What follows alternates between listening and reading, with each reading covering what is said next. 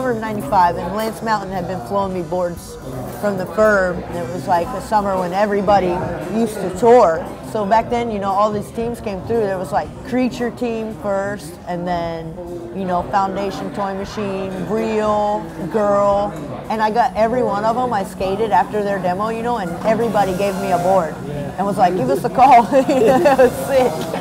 I rode for Lance hooked me up, and then uh, Mickey hooked me up with real boards, and I didn't want to like double dip, you know. So I asked Lance, and because Mickey said he was going to hook me up, you know, bigger than Lance could, you know. And I called Lance, and he was like, I think you should do that, you know. I was like, I want to come to California and do all this, and it didn't seem to be like happening. I was on like a flow program, you know.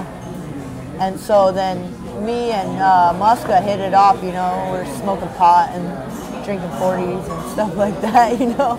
And then at the AM contest in 96, Donnie was like, you should call Chad and get on Toy Machine. Paul Zitzer was like, oh my God, you should definitely ride for Toy Machine. Because it was like the Muska and it's like going to be hot right before Welcome to Hell, you know? So I called and then the pro contest was like two months later and Jamie came to the pro contest and then came to Fort Myers with me for a week and we filmed my video part and then that was it. Well, probably like two weeks, three weeks, yeah. I didn't have a filmer or nothing, you know, so he came to Fort Myers for a week and we filmed everything that I had there. We went to Miami and filmed stuff. That was 2001, and I really liked Toy Machine. Still to this day, I feel like I'm connection. I left just because the team had changed, just didn't feel the same. Everybody on the team was my, you know, greatest friends. I get teary-eyed talking about it. You can't see because I have shades on. then I was living in LA and I was hanging out with Andrew and Eric and when they had Baker already and then they were going to start Bootleg as a sister company. So everybody that was hanging out that wasn't on Baker was going to ride for bootleg, and so they proposed that to me, and it sounded like a plan. You know, that was fun for a couple months.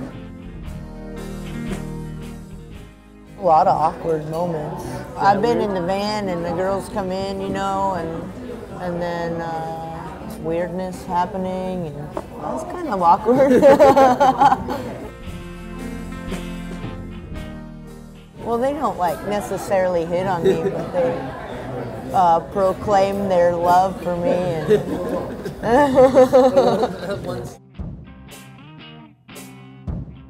I think about this a lot. It's kind of funny. Remember when uh, Big Brother was making those prank calls to people and like publishing them? These people called me one time and they're like, "Hey, this is whatever. We're gonna start a company called Von Zipper, and we wanted you to do it." I was like, "Von Zipper?" I was like, "Nice try," and I hung up because I thought it was the Big Brother people because the name was so goofy. I rode for Roxy for a year though, and that was super tight. So if the Roxy people are watching this, sponsor me again.